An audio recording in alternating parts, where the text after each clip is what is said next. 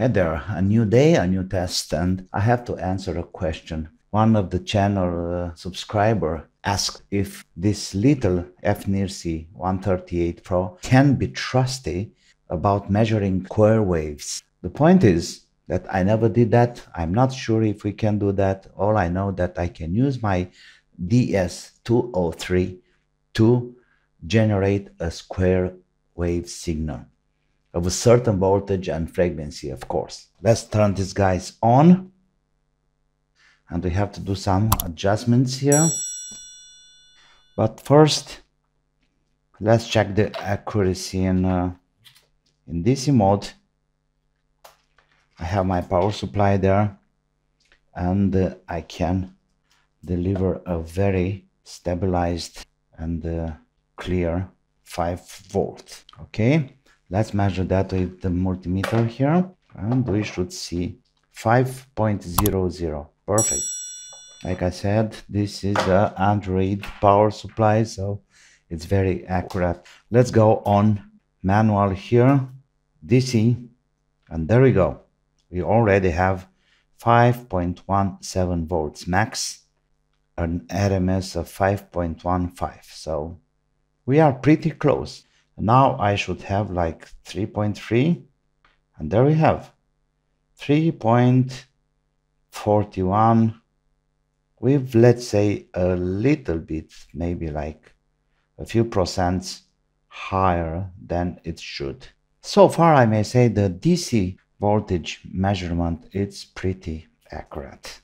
Let's give a try to the internal signal generator, RMS 1.67 and peak to peak is 3.55 volts. That's nice to know. Let's check that with my other oscilloscope here. So let's connect the ground and we have the tip right here. Auto set and yes, let's have some numbers and we have frequency 8 kilohertz and um, we have a voltage peak to peak 3.80 and this one showed me 3.55 so there is a little bit of difference but there is 8 kilohertz. That's interesting. Can we change that? Let's see. Yeah from up there i suppose. But now it's in the air so it needs adjustment. Here we go. Yeah we can change the frequency right here. Auto set we have a frequency of 20 kilohertz. Why? Let me go down to much eatable one. It's hard to see that number there. It's uh, blue 100 hertz on auto. Evidently square wave. Let's check the other guy too. Auto set. No, 1 kilohertz. I'm sorry, it's not 100. It's 1 kilohertz with um, peak to peak 3.80 and here we have a 3.52 I'm pretty sure this is pretty accurate here 3.52 maybe we should try to measure that with the multimeter 3.52 but this multimeter of mine it's not able to measure RMS but at least we can have an idea. No no way. No no way.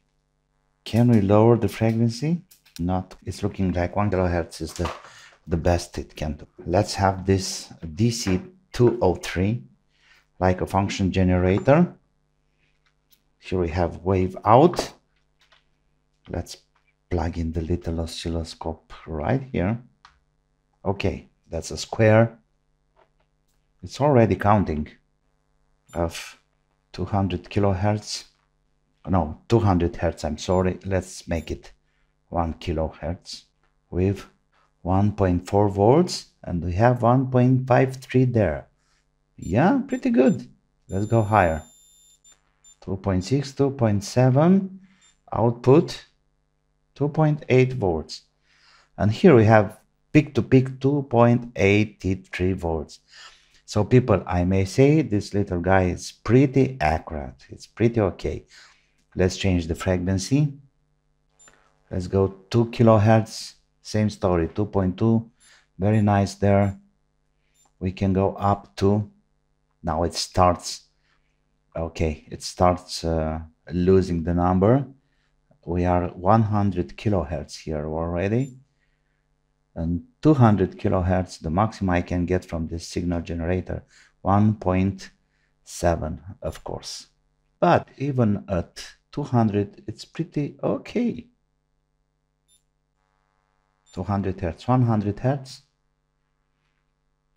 And we have 2 point, we should have 2.8 volts. Yeah, perfect. 2.9 around. But also, the point is that I can't know for sure if this one is accurate too. Hopefully it is. So far, I can say this little guy, it's pretty useful. It's pretty usable. Let me check this uh, multimeter here. In fact, it's a transistor tester, but I can use that like a function generator. And I know that I can have frequencies, different frequencies, and it's square for sure. But let's go down to 1 kilohertz for now.